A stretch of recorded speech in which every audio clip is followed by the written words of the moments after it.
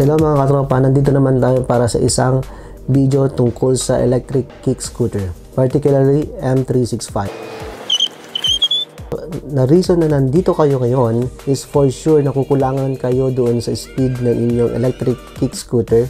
Katulad ko rin, nakulangan din ako ng speed ng aking electric kick scooter before. So naghanap ako ng ways para ma-hack yung speed niya and ipapakita ko sa inyo kung paano ko siya hinak step by step ngayon, simplihan natin at ipakita ko sa inyo kung paano ko hinak ang aking electric scooter. Ngayon, start na natin guys. Una sa lahat, kailangan natin ng smartphone. It's either Android or iOS. Una, punta muna tayo dun sa ating Play Store. Kung gamit nyo is Android, Play Store. Kung ang gamit nyo ay iOS, App Store. So, punta tayo sa Play Store. Then, i-type natin ang uh, M365 Down G. Yan. Yung pinakataas. Since sa download ko na ang M365 Down G, nag-appear siya doon na open. So, kapag hindi nyo pa na-install yan, mag-appear dyan is yung download. Yan, ang unang kailangan natin ay download ang ating Down G. Second is i-download yung BLE which I already provided doon sa description for your easy reference.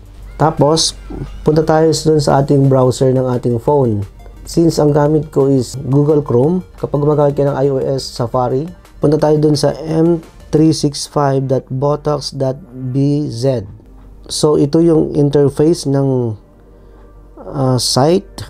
Ito yung default niya. Since gusto natin i-hack yung ating speed ng ating scooter, i-click nyo ito, rollerplus.com. Yan. Dito na natin i-start ang ating pag-hack ng ating uh, electric kick scooter. Base version of your firmware is 1.3.8. Ayan nyo lang po yan. Kurtz minimum speed 40.0. Ayan po lang po natin yan. Maximum speed in normal mode 30. Kayo kung gusto nyo taasan, but for me, inahayaan ko na lang yan. Maximum speed in eco mode. Ngayon, ito yung aking hinak para yung eco mode ko is nag-reach siya until uh, up to 30 kilometers per hour. So, papalitan lang natin itong 19. Ito yung default speed ng ating scooter. So, papalit, papalitan natin ng 30 para ma-hack. Motor start speed. Ito. Ang default niyan is 5. Ang gamit nito yung kapag kinik natin, mag start agad yung uh, electric motor niya. So, yung default is 5. Kailangan mo pang tadyakan ng medyo mahaba-haba bago mag-kick in yung uh, electric motor ng ating scooter. So, ako, ginawa kong 3 para konting kick lang, mag-kick in agad yung ating electric motor. So, ginawa kong 3. Ito, 3. Motor power constant, 33,000. Okay lang yan. Huwag niyong gawlawin. Cruise control. Ito, ginawa ko rin siyang 3. Gagawin nating 3. Ang default niya is 5. Gagawin kong 3. Para pag 3 seconds lang, tutunog na agad yung ating uh, cruise mode. Magbibip na siya agad kasi nangangawit yung kamay ko kapag 5 seconds. But it's up to you kung gusto niyo ng 5 seconds delay. Okay lang din yon cruise control no beep. Na kapag nailang kayo sa beep i-click nyo lang yon but for me inaayaan ko lang siyang mag-beep para meron akong indicator na nag cruise mode na siya. Boot with eco mode. Itong gamit ito kapag in-start mo siya naka eco mode na siya agad. Yung default pag start mo pag click mo ng power nandun siya sa normal mode. So i-double click mo pa para pupunta dun sa eco mode. Ngayon, itong hack na to, pag click mo ng power button, diretso, eco mode agad. Battery voltage, yan, okay, okay lang yan. Remove bar speed of 35, okay lang yan, wala na akong ginalaw dyan. Tapos, wheel speed multiplier 3, 4, 5. Since naka 8.5 uh, tires naman ako, yung normal na tire, so hindi ko na kailangang i-hack yan.